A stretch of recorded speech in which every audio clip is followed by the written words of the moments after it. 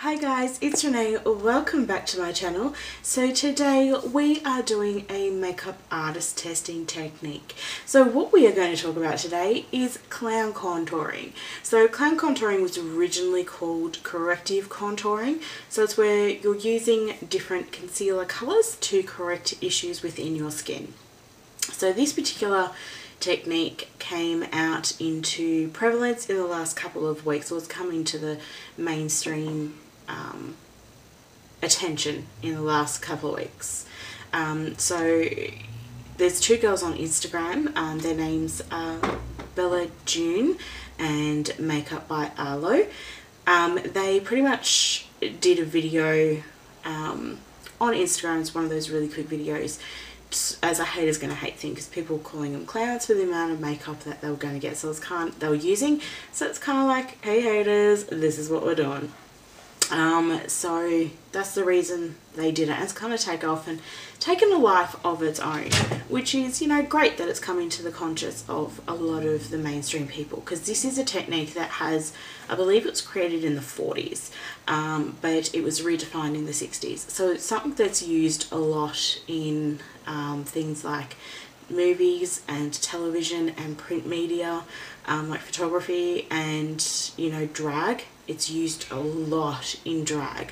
I first um, came to know about this after watching some drag videos about good five years ago or something like that. Sorry. Um, and you know it was always called corrective contouring is what I knew about it. So you know you can learn a lot from drag. Sorry Teddy's like being annoying can learn a lot from drag videos because a lot of the makeup techniques that are being used today are actually being taken from drag but if you are going to do that just got to remember these are biological males who are trying to soften their features in their face to make them look more feminine. So if you're a female copying these techniques, you just need to soften it because if you're a biological female, because you know your facial structure is typically not as rigid as a man's. So um, we are just going to have a quick chat about this particular technique. So there's multiple ways you can do it. So the two that I've seen or one that I've seen a lot of and the other that I've known about and have done in the past I will talk about. So the first one is using all your corrective shades and your concealers um, and not putting any foundation over top, just powdering over it um, to give that finish. The second one that I've always known how to do is using you know your corrective colors and then putting some light foundation over the top um, to kind of make sure everything blends out and then powdering yourself as well to set your makeup now a lot of people I've been seeing doing this have been coming out grey so and also those same people that are coming out grey are using these colors in the way that they're not meant to be used so you want to make sure when you are using these corrective shades that you're using them appropriately so your things like your greens, they um, help to diminish the rosacea or the redness in your skin. Um, you know, your yellows, dark under eyes um, circles, depending on how dark they are, depending on what colour you go with. Mine aren't overly dark, so I can get away with using yellow, but if they're very dark, you may want to consider the pinker colours. The lavender is typically used for yellowing in the skin. So people that um, may have some liver disorders may or kidney disorders can have some yellowing in the skin like jaundice um, and it helps to even that out or just you know yellow bruisings. So you do want to be careful about how you use the colors because they do have an intended purpose um, on how they are used. So we are going to do this today because this is a really really long video. I am not going to talk through it. I'm just going to just a bit of silence I'm sorry um, and then we're going to at the end you know you guys can tell me what you think um, of this particular technique. So yeah, so we're going to get on it and it will go a little bit quick because this is a lot, a lot of product. I will forewarn you, it's really a massive amount of product so you have to be able to blend really well as well um, with your skin and make it look flawless. You don't want to look cakey, you want to look flawless and you don't want to look grey, which is what a lot of them are actually coming out looking like. So, you know, I hope everyone, I hope you enjoy this video. Um, I do have my concealers here. So I'm only going to use corrective concealers that my skin needs because using everything under the sun is really counterproductive. So um, I hope everyone enjoys this video. If you do have any questions, hit me up in the comment box down below um, and I try to answer as much as I can. If you do enjoy this video, give us a thumbs up um, and also you know, I will have the product list down below in my description bar. Everything I'm using is considered drugstore products, so they're not expensive, they're pretty inexpensive. So we're going to get on this. So I'm just going to show you the clown contouring part. I won't show you how I do my eyes because it's going to take forever. This technique is a really, really long technique, as I said. So I don't want to bore everyone senseless, pretty much. So um, thank you so much for watching and we will get started.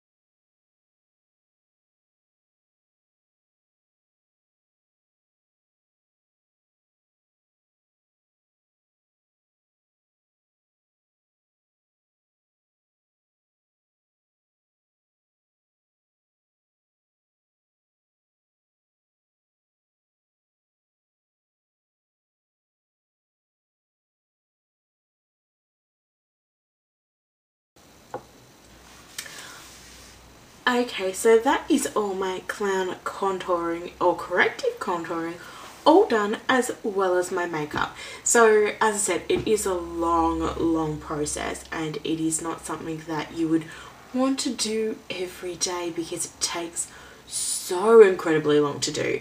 But, you know, for that special occasion, you know, going to a wedding or it's your birthday and you're turning like 21 or 18 or 30 or what have you or you know 50 or 60 whatever age you're turning you know it can be a really nice look for a really special occasion. Um, it's just not an everyday look at all because of the amount of product that you're putting on your face. Um, it does kind of feel a little bit heavy in regards to the foundation and the concealers and what have you. We've got literally about you know we've got primer concealers, a small amount of foundation, blush, um, highlighter. You know, you've got five layers of, you know, of makeup and that's a lot of layers. So, you know, if you are going to do this, I would recommend setting an hour or an hour and a half aside to do this because it does take so long. Also, you know, do practice it. If you're going to do wanting to do it, then practice it before you the event rolls around because you want to make sure that you can blend everything out properly. So you can see I'm all blended out quite nicely. So it does take a little bit of technique and a little bit of work to blend your whole face out. It literally it took half an hour for me to properly blend my face out um, maybe not half, maybe 20 minutes um, because it is such a long process. Um, and just to put even on my face took about 15 minutes because it was just so much. Uh, and that was just, you know, the contour colour and then the concealers and the highlighting and that just took so long. So yeah, I mean, it is sometimes worthwhile trying these techniques and, you know, it is a worthwhile technique to use. Um, just beware, in person it may look quite cakey, whereas it comes out brilliantly on video or on cameras or, you know, things like that. So as you can see my beautiful face is all done. So I hope you did enjoy this video and, you know, you give it a go. If you do give it a go, let me know in the comments down below and I'll definitely watch your videos um, in regards to this particular technique. So thank you so much for hanging out with me today. If you did enjoy it, give us a thumbs up. If you have any questions, comments or anything like that, hit me up in the comments down below and I'll try to answer as much as I can. Um, I hope everyone is having a great week and that you having fun no matter what you're doing. So thank you so much for joining me, spend time with me tonight. Um, I hope everyone has an awesome rest of their week and I will see you all again later. Bye.